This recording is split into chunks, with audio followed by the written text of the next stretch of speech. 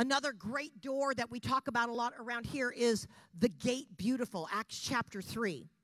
And you know this story that the apostles were on their way to the to the temple at the hour of prayer. This whole year is going to be marked by times of miraculous prayer, times of encountering God in prayer. They were on their way to encounter the Lord in prayer when they walked past a lame man who sat by the gate beautiful. Now you got to think this is in Jerusalem. Jesus had been in Jerusalem. You got to know that this guy had probably even seen Jesus walk by. But what did Jesus say? He said, Greater things than I do, you're going to do.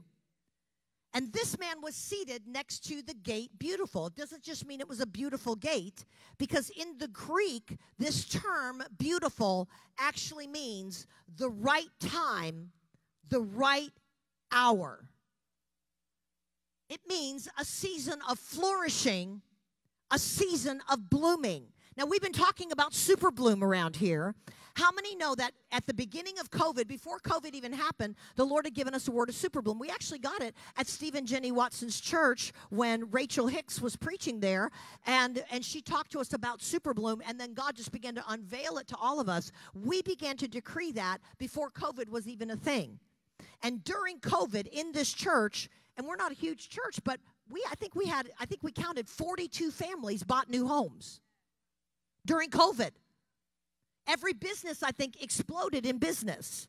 People started new businesses that thrived in their very very first months, very first year of business. They were in the profit. They were in they were in the black the very first year. Come on, we had super bloom because God said, "I will bring uh, blossoms out of the desert." And we laid hold of the word of the Lord and we saw church growth, we saw business growth, we saw family members, prodigals come home because God said it's the right hour, it's the right season. You need to war with the word of the Lord. And so at the gate beautiful, I want you to see this. The, the lame man that had sat there for years received a voice activated miracle. They were walking by, he was begging alms, and he was crying out for money. And Peter and John turned and looked at him, and they said to the man, Look at me. And then they made this decree Silver and gold have I none, but such as I have give I thee. In the name of Jesus Christ of Nazareth, rise up and walk. And that decree activated healing in this man. And it says, and they took him by the right hand and lifted him up, and immediately his ankle, his feet, and his ankle bones received strength. So he leaped up, stood, and walked and entered the temple with them, walking and leaping and praising God. Come on, we see that the dead were raised in the city. We see that the doors of the prison were open when Paul and Silas began to praise. Come on, the doors were a place of the supernatural. I want you to stand to your feet with me, and we're going to make this decree right now. Come on, if you've been in prison, if you've been depressed, if you've been eh, if you've had mental anxiety, if you've had physical sickness, if you've had uh, addiction, if you've had hopelessness, I'm telling you we're in a season right now God is saying speak and make decrees and act activate your miracles. Activate miracles for your prodigals. Activate miracles for your businesses. Activate miracles for your family. Come on, I'm telling you that you may have felt like you were in a stranglehold. God is decreeing this is a season of breakthrough for you. Lift up your hands and decree this with me. Say it with me. Thank you, Lord, that you are revealing yourself as He who opens and no man can shut. 5784 is the right time, the appointed time for my miracle. I am standing in the doorway of the supernatural and hearing God's voice of promise. I let go of all past disappointment, barrenness, shame, and fear and embrace my divine opportunities. I activate my miracle season with my voice and I make a choice to believe God in the face of impossibility. With God, all things are possible. I will possess my double door of hope this year in Jesus' name. And if you believe that, I want you to just give the Lord a big shout. Hallelujah. Woo! Amen.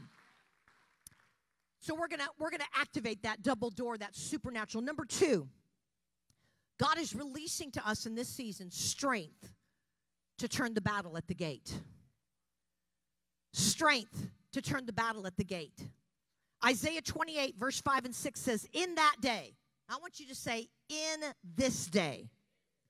In this day, the Lord of hosts will be for a crown of glory and a diadem of beauty to the remnant of his people, for a spirit of justice to him who sits in judgment, and for strength to turn for those who turn back the battle at the gate. That word strength means force, might, valor, victory, and strength.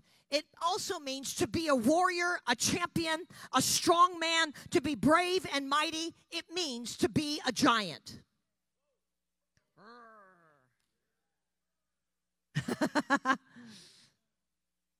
I want you to lift your hands up.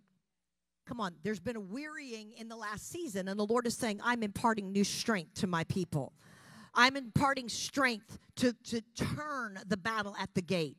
I'm imparting strength to my people that are going to stand for justice. Come on, God is releasing justice in this season of time. That's where God deals with the corruption. That's where God makes the crooked places straight. That's where God comes down and intervenes in the course for men and for women. We decree right now, God, we are not backing up. God, as a matter of fact, we are rising up.